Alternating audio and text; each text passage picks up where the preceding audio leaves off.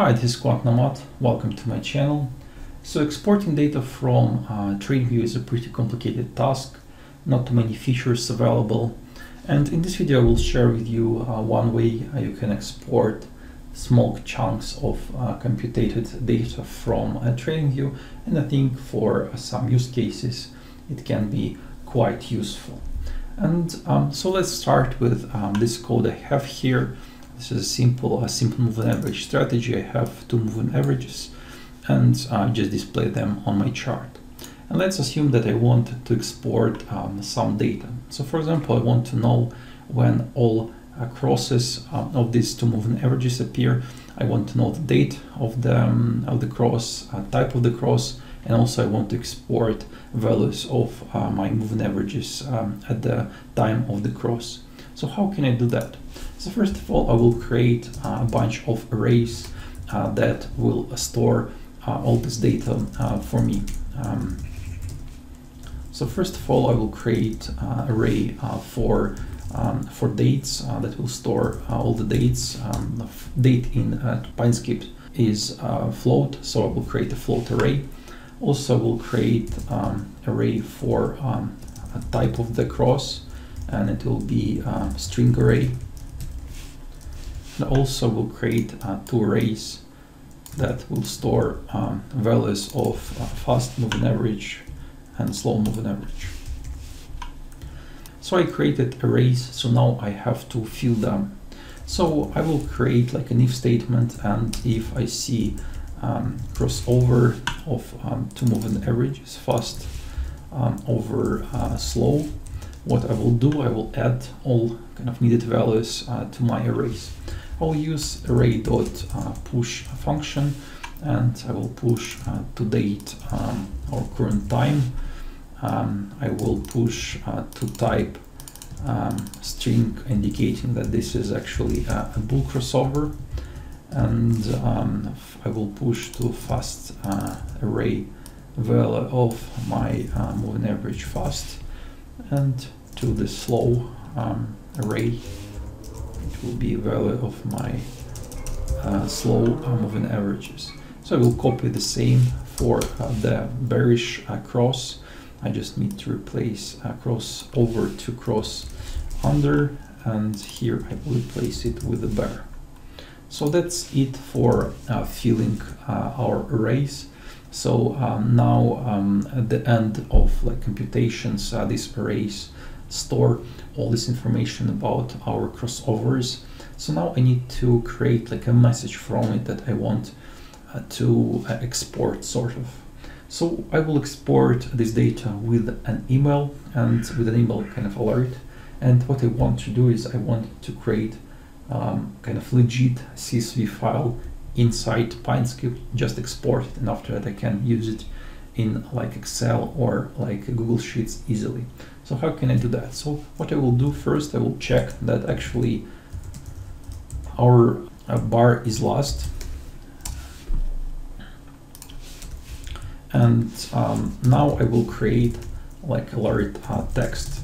And I will start with just column names. So first I will use date type um, fast slow values and in the end I will add um, a slash n for like new line and next I will create like a small loop that will iterate through my arrays and will uh, fill kind of the rows for every record in my arrays.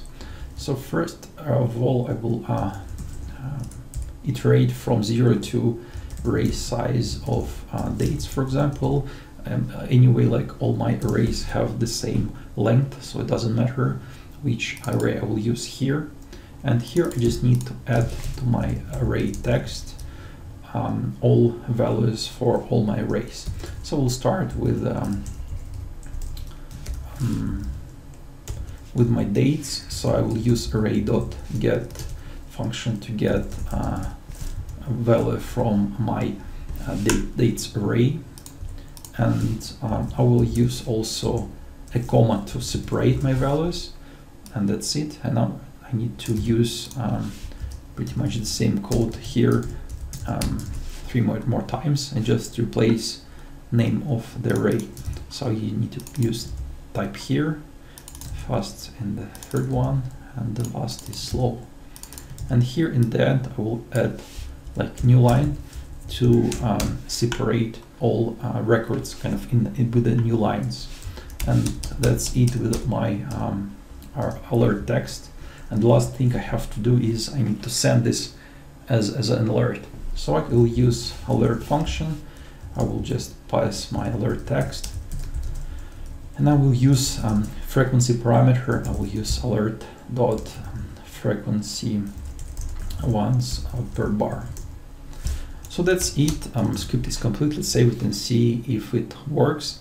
So it seems uh, to work. We have no errors. So now we need to create an alert. And I created this script this way that uh, this alert will be fired immediately after we will create our alert and we will receive um, this data. So let's select our name of our script and use any alert function call. Let's click create so as you can see, we received our alert and this is data and it's like looks like a CSV like a format, but unfortunately I cannot copy the data from here. Uh, doesn't allow me to do that, but I'll, i also sent the same data to my alert and I can um, easily copy it from uh, my email. So let's open like text editor and here I copied my data from my email and as you can see it looks um, very close then to a normal like CSV file.